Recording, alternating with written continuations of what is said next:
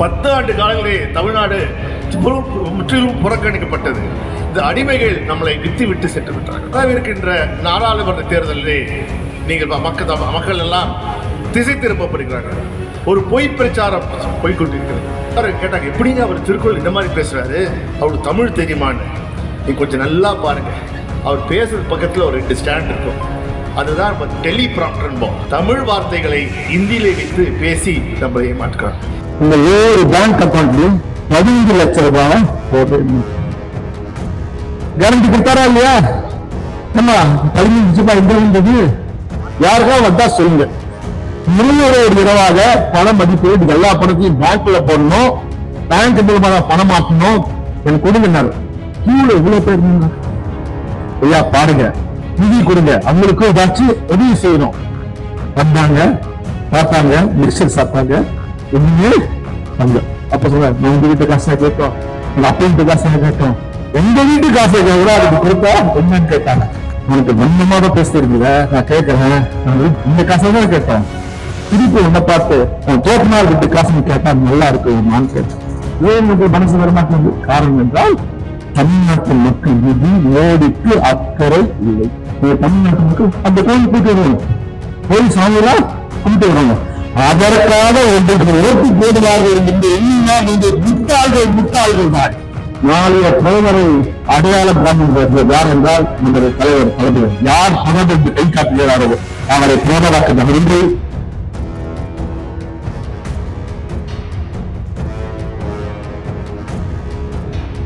இந்த பத்து ஆண்டு காலங்களே தமிழ்நாடு முற்றிலும் புறக்கணிக்கப்பட்டது. இந்த அடிமைகள் நம்மளை வித்து விட்டு சென்று விட்டார்கள். இன்று முக்கிய பிரச்சனை என்னவென்றால் வரவிருக்கின்ற நாடாளுமன்ற தேர்தலிலே நீங்கள் மக்கள் மக்கள் எல்லாம் திசை திருப்பப்படுகிறார்கள் ஒரு பொய் பிரச்சாரம் போய்கொண்டிருக்கிறது. நீங்கள் இங்கே நீங்கள் எந்த தொலைக்காட்சியை திறந்தாலும் ஒரு விளம்பரம் வந்து கொண்டே இருக்கிறது என்னமோ அது தனிப்பட்ட விளம்பரம் போல் தெரியும். ஆனால் அது அது பாரதிய ஜனதா கட்சியின் விளம்பரம் இல்லை இந்திய அரசின் சால் விளக்க கொடுக்கப்பட்ட விளம்பரத்தில் இதோ மோடியின் கேரண்டி மோடியின் கேரண்டி என்று பார்த்துக்கால் ஒவ்வொரு பத்து நிமிஷத்துக்கும் அந்த விளம்பரம் வந்து கொண்டே இருக்கிறது. நான் உங்களை ஒன்றே ஒன்று கேட்கிறேன். அந்த விளம்பரத்தை நன்றாக உத்து பாருங்கள். அந்த விளம்பரத்தில் வரும் யாரு பார்த்தீங்கன்னா அந்த விளம்பரம் நமக்காக தயாரிக்கப்பட்ட விளம்பரம் இல்லை இந்தி பேசுகின்ற மக்களுக்காக தயாரிக்கப்பட்ட விளம்பரம் தான் இருக்கும் ஒருத்தர் கூட நம்ம ஊருக்காரங்க மாதிரி இருக்கவே மாட்டாங்க. இது ஏன் சொல்கிறேன் என்றால் அவர்கள் நம்மை பற்றி கவலைப்படல. நான் பாராளுமன்றத்தில் கூட பேசினேன். மோடி அவர்கள் வருகிறார்கள். ஒவ்வொரு முறை மோடி வரும்போது பார்த்தீங்கன்றால் தமிழ் மீது பெரும் காதல் கொள்கிறார். அது குறிப்பாக வள்ளுவரை அவர் விடுவதில்லை. ஏதாவது ஒரு திருக்குறளை அழகாக பேசுகிறார். எல்லாரும் கேட்டாங்க எப்படிங்க அவர் திருக்குறள் இந்த மாதிரி பேசுறாரு? அவருக்கு தமிழ் தெரியுமான்னு. நீ கொஞ்சம் நல்லா பாருங்க. அவர் பேசுறது பக்கத்தில் ஒரு ரெண்டு ஸ்டாண்ட் இருக்கும். அதுதான் நம்ம டெலிபிராம்டர்ன்போம் அதாவது செய்தி வாசிக்கும் போது அது உங்கள் கண்ணுக்கு தெரியாது. நான் பேசுகிறேன் என் கண்ணுக்கு மட்டுமே அதில் தெரியும். அதில் இந்தியிலே இருக்கும். தமிழ் வார்த்தைகளை இந்தியிலே வைத்து பேசி நம்மளை ஏமாற்றுகிறார். இங்கே வந்தால் தமிழ்நாடு எனக்கு மிக பிடித்த ஊர். தமிழ்தான் சிறந்த மொழி தமிழுக்காக நான் உயிரை விடுவேன் என்றார். அப்படி டக்குன்னு கேரளா போனார்னா கேரளா தான் எனக்கு பிடித்த ஊர். மலையாளம் தான் எனக்கு சிறந்த மொழி என்பார். அப்படியே இங்கே கர்நாடகா போனால் கன்னடம் தான் எனக்கு பிடித்த மொழி என்பார். அங்கே ஆந்திரா போனால் அப்படியே பிளேட்டை மாதிரி தெலுங்கு தான் எனக்கு பிடித்த மொழி என்பார். ஏன் சொல்கிறேன் என்றால் பொய் பேசி நம்மை கவர்வதான் நாம் தமிழை விடுவது கைவிடவில்லை அதே போல் ஆங்கிலத்தையும் நாம் கைவிடவில்லை. அதனால் தான் முன்னேறி கொண்டிருக்கிறோம் ஆனால் நான் சொன்னேன் நீங்கள் நீதி மட்டும் படித்தால் போதும் அங்கே வேலை வாய்ப்பு இல்லை வளர்ச்சி இல்லை. அதற்காக தமிழகத்தை நோக்கி வேலைக்காக இங்கே வந்து கொண்டிருக்க அவர்களுடையத்தான் நான் எடுத்து சொன்னேன். அதே போல் பார்த்திருந்தால் இந்த முக்கியமான தருணத்திலே பத்து ஆண்டுகளாக பாஜக ஒன்றியத்திலே ஆட்சியை நடத்தி வருகிறது சரி பத்து ஆண்டுகளிலே நீங்கள் சாதனைன்னு என்ன சொல்றீங்க? மோடி அவர்கள் என்ன சொன்னார்? எனக்கு இந்த ஏழு பேங்க் அக்கௌண்ட்லயும் பதினைந்து லட்சம் ரூபாய் போடுறேன். கேரண்டி கொடுத்தாரா இல்லையா? நம்ம பதினஞ்சு ரூபாய் எங்க வந்தது யாருக்கா வந்தா சொல்லுங்க. அந்த உண்மையிலே நாமும் எல்லாரும் போய் கேட்கிறோம். இந்த பதினஞ்சு லட்சம் ரூபாய் எங்கே வந்து அது மட்டுமா? என்ன சொன்னார்? அதாவது துக்ளக் தர்பார்னு சொல்லுவாங்க தெரியுமா?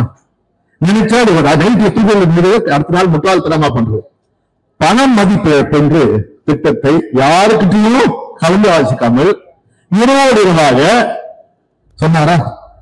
நீங்களாம் நின்னீங்களா? ஏன் நினைவுபடுத்துறீங்க தாய்மாரெல்லாம் இருக்கீங்க? நம்ம ப- நமக்கு அவ்வளவு பிரச்சனை இருக்கு. வீட்டு வேலை இருக்கு எல்லாம் இருக்கு. இது யோசிச்சு பாருங்க. பணம் மதிப்பு பண்ணாரா இல்லையா? அது குறிப்பா பாத்தீங்கன்னா தாய்மாரெல்லாம் ரொம்ப கஷ்டப்பட்டாங்க. புருஷனுக்கு தெரியாம அஹ், சக்கரை எல்லா பத்திரிகையும் பணத்தை ஒழிச்சு ஒழிச்சு வச்சாங்க. எல்லாம் சிரிக்கிறாங்க பாருங்க. பண்ணிருக்கீங்க. பணத்தை ஒழிச்சு வச்சோமா இல்லையா? என்னாச்சு? திடீர்னு பணம் சொல்லாதன்னா என்ன பண்றது? நீ நம்ப மாட்டீங்க. கோயம்புத்தூர்ல உண்மையான சம்பளம். ஒரு விவசாயி. அவர் மனைவி போய் கேட்கிறாரு சார் அவர் டிராக்டர் வாங்கணுமா? அது பதினஞ்சு லட்சம் தான்றாங்க.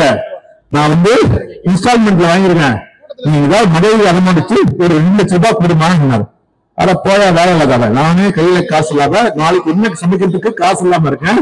நீ இந்த மாதிரி அவர் ரொம்ப வருத்தப்பட்டு பொண்டாட்டி திட்டாலே பரவாயில்ல சொல்லி அவர் டிவி போட்டிருக்காரு. போட்டா மோடி வந்து பணம் மேல் சொன்னாரு. உன் உண்மையை அம்மா கடவுள் போய் இருபது லட்சம் ரூபாய் கொடுத்து கொடுக்குறாங்க நீ யாரு நான் காசு கேட்ட காசு இல்லைன்னு சொன்னீங்க. இந்த பணம் உனக்கு இங்க இருந்து இல்ல இல்ல அண்ணன் கொடுத்தான் என் மச்சான் கொடுக்குறாங்க. இல்லை. நாம் சிரிக்கலாம். ஆனால் சிரிக்க விடுவென்றால் எவ்வாறு நம்மளை முட்டாளாக்கினார்கள்? இருநூறு இரவாக பண மதிப்பு இது எல்லா பணத்தையும் பேங்க்ல போடணும். பேங்க் மூலமா பணம் மாற்றணும். எனக்கு கொடுங்கன்னாரு கீழே இவ்வளவு பேர் நின்னாங்க. வேலையெல்லாம் விட்டுட்டு கீழே நின்று பணத்தை சொந்த பணத்தை நம்ம சம்பாதிச்ச பணத்தை செலவு செய்ய முடியாம பேங்க்ல நின்று நின்று எத்தனை உதவி போச்சு தெரியுங்களா? அதுக்கெல்லாம் யாருக்கு பொறுப்பு? என்ன என்ன பண்ணார் மோடி? எனக்கு மூன்று மாதம் கொடுங்கள் இல்லை என்னை தீட்டியர்கள் இந்தியாவை கருத்துப்படுத்த நான் கொண்டு என்றார். எவ்வளவு நான் கருத்துப்படுத்த கொண்டிருந்தால் ஒன்றுமே கொண்டு வராமல் செய்தார்கள். இன்றைக்கு துறைமுகம் இந்தியாவில் அனைத்து துறைமுகம் கிட்டத்தட்ட எண்பது சதவீத துறைமுகம் தனியார் வருகிறது யாருக்கிட்ட? ஒரே ஒரு ஆள். யாரு? அது அதானி இன்னைக்கு அதானி நினைத்தால் எந்த பொருள் உள்ளே வரலாம் எந்த பொருள் வெளியே போகலாம் என்று கட்டுப்பாடு. இருக்குது அதுபோல் பார்த்திருந்தால் இந்த குஜராத் துறைமுகம் யார் கட்டுப்பாடு? அதானி கட்டுப்பாடு. கிட்டத்தட்ட லட்சத்தி அறுபத்தி ஏழு கோடிக்கு ஆன போலி மருந்துகள் அந்த துறைமுகம் மூலமா தான் வந்து கொண்டிருக்கிறது. நான் சொல்லலாமா? அதானிக்கு கை இருக்கு. அதானி தொடர்புனா மோடிக்கும் தொடர்புக்கு நான் சொல்லலாமா? சரியா வருமா? நாங்க சொல்ல மாட்டோம். நாங்க உங்க நீங்க கெஸ்ட் பண்ணிக்கோங்க. ஏனால் இதே மாதிரிதான் ஒவ்வொன்றையும் நாட்டை விற்றுக் கொண்டு ஏனால் தனியார் நிறுவனம், அதாவது பொது சேவை நிறுவனங்கள் எல்லாம் விற்று இது விற்கிறதுக்கு உண்மையும் இல்லை. அல்லாம சொன்னாங்க இந்த கொரோனா இது போர் ரஷ்யா போர்ல பெரிய போர். பெட்ரோல் விலை ஏறிச்சு. ரஷ்யாக்காரங்க சொன்னாங்கன்னா நான் பெட்ரோலை உங்களுக்கு கொஞ்சம் குறைந்த விலையிலேயே மானிய விலையிலேயே தருகிறேன். என்ன வேற யாரும் எனக்கு வாங்கலாம் இருந்தாங்க அப்ப என்ன ஆகும் ரஷ்யாவோட பெட்ரோல் நமக்கு வருது என்றால் நமக்கு பெட்ரோல் விலை குறையணுமா இல்லையா? நீ நூத்தி இருபது டாலர் கொடுத்து வாங்குற எங்க அரேபியா இருக்கிறது. நீங்க அறுபத்தஞ்சு டாலர் தராங்க அப்போதெல்லாம் அந்த அந்த செய்திக்கு யாருக்கு வரணும் நமக்கு இந்தியா கூட இல்லை. அந்த பெட்ரோலை யார் இறக்குமதி செய்கிறார் தெரியுமா? அதானி நிறுவனம் அம்பானி நிறுவனம். அவங்க இறக்குமதி செய்து யாருக்கு விற்கிறாங்க? ஐரோப்பிய நாடு விற்கிறாங்க. ஐரோப்பிய நாடு நேரடியாக ரஷ்யா கிட்ட வாங்க முடியாது. அந்த பெட்ரோலை வாங்கி இந்தியா கொண்டு வந்து அம்பானியும் அதானியும் ஐரோப்பிய நாடு விற்று கோடிக்கணக்கில் ஆயிரக்கணக்கான கோடியிலே சம்பாதிப்பார் ஆனால் நமக்கு பெட்ரோல் விலை கொஞ்சம்தான் மோடி சொன்னார் கேஸ் விலையை கம்மி பண்றாங்க. ஐநூறு ரூபாய் அந்த கேஸ் இல்லைம்மா. ஆயிரம் ரூபாய் தங்கிச்சா இல்லையா? இது சொல்லுங்க. அதாவது சொல்றேன் ஐயோ மகளிர் பாவம். அந்த பொருளை கண்ணில் தண்ணி வருது கேஸ் விலையை கேட்டாலே கண்ணில் தண்ணி வருது. இன்னைக்கு பெட்ரோல் நூறு ரூபாய் கிட்ட போயிடுச்சு டீசலும் நூறு ரூபாய் கிட்ட நான் கேட்கிறேன் என்னமோ கேரண்டி தெரியல இந்த விலையை குறைப்புன்னு ஒரு கேரண்டி சொன்னாங்க. இளம் தலைவர் உதவி கேட்டாரு இப்போ சென்னையில பெரிய வெள்ளம். ஏன் மோடி சென்னைக்கே வரலாமா? வெள்ளம் பிச்சு எடுத்து சரி வெள்ளம். நாலு மாவட்டம் நாலு மாவட்டத்துல வெள்ளம். நாங்க எதிர்பாராத வெள்ளம். வெள்ளத்துல நம்ம வந்து சரி பண்ணி மக்களை நேரடியாக தொடர்பு ஒவ்வொரு மக்களால் தேர்ந்தெடுப்பும் நம்ம கழகத்தினர் வந்து வேலை செய்து பண்ணோம் சரி பண்ணோம். ஆனால் மக்களுக்கு பாதிப்பு இருக்கு ஏன்னா கீழே இருக்கிற வீடெல்லாம் தண்ணி வந்துருச்சு. அப்ப நம்ம தலைவர் சொன்னார் பாதிக்கப்பட்டவர்களுக்கு குடும்பங்களுக்கு ஆறாயிரம் ரூபாய் வருகிறது அப்ப என்ட்ரியை கேட்டோம் நீங்க வாங்க வந்து பாருங்க. ஓ வந்தாங்க பார்த்தாங்க போனாங்க. ஒண்ணுமே சொல்ல சொல்லுங்க படத்துல வந்தாங்க பார்த்தாங்க மிக்சர் சாப்பிட்டாங்க மிக்சர் சாப்பிட்டு போயிட்டே இருக்காங்க. இது ஒண்ணுமே செய்யல ஐயா பாருங்க நிதி கொடுங்க. அவங்களுக்கும் ஏதாச்சும் உதவி செய்யணும். வந்தாங்க பார்த்தாங்க மிக்சர் சாப்பிட்டாங்க. ஒண்ணுமே பண்ணல அப்போதே நம்ம முதல்வர் தளபதி என்ன சொன்னார்? ரொம்ப ஒன்றில் இருந்தாங்க மக்கள் பாதிப்பாங்க நான் சொல்லி பணத்தை கொடுத்தேன். கிட்டத்தட்ட பார்த்தா முப்பத்தஞ்சாயிரம் கோடி ரூபாய் நாம் செலவு செய்திருக்கோம் சரியா? இந்த இப்ப நாங்க வரி கொடுக்கறோம்ல இந்த வரி பணத்துல இருந்து இதை திருப்பி தரலாம்னு எங்க எல்லாரும் உதவி கேட்டார். உடனே நம்ம அம்மா நிர்வாகம் சொல்லிச்சு இது என்ன? தமிழ்நாடு அரசு எங்களை ஏடிஎம் வச்சிருக்கு. நினைக்கிறீங்களா அங்க காசு. அப்ப சொல்ற நான் உங்ககிட்ட காசா கேட்டோம். உங்க அப்பா வீட்டு காசா கேட்டோம். எங்க வீட்டு காசை கூட அதுக்கு கொடுத்தா என்னன்னு கேட்டாங்க. உடனே நம்ம அம்மா இன்டர்வியூ உதயநிதி ஸ்டாலின் அவர்களுக்கு மரியாதை தர வேண்டும். உங்க அப்பா வீட்டு காசு உங்க ஆத்தா வீட்டு காசு. அது பாருங்க அது கொச்சப்பட்டுருவாங்களாம் உங்க வீட்டு காசு இதெல்லாம் கேட்கக்கூடாது. ஒரு அரை மணி நேரத்துக்கு நான் விழுத்துக்கு வந்தது. நான் பாராளுமன்ற கேட்டேன். ஏன்னா உனக்கு வன்மமாக பேச இருக்குல்ல நான் கேட்கிறேன். நான் இந்த காசை தான் கேட்டேன் திருப்பி உன்னை பார்த்து உன் தோப்பனார் விட்டு காசு கேட்டா நல்லா இருக்குமான்னு கேட்டேன்.